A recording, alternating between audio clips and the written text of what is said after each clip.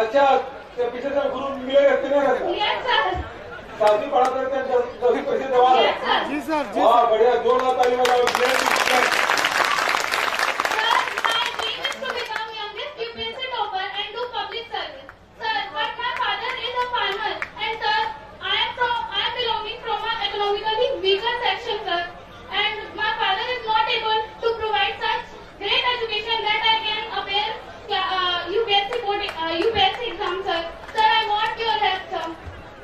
UPSC exam के लिए आपको यदि क्वालिफाई करते हैं आपको परमिशन देते हैं।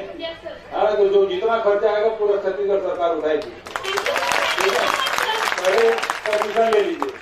अभी. जैसे टेंथ सेवंथ में है है ना? टेंथ बोर्ड के एग्ज़ाम के लिए अनुमति मिल गई। तो आप पहले ये कर लो। और उसके बाद फिर यूपीएससी के परमिट परमिशन ले लो Yes, sir. है ना तो उसके बाद आपको जो सहायता मिलेगा कोचिंग के लिए रहने के लिए सब व्यवस्था करेंगे।